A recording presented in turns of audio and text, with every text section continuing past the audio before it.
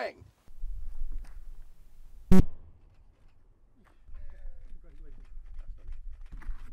Nine people have been hurt this month alone. One person killed and eight injured. Um, this problem won't go away on its own.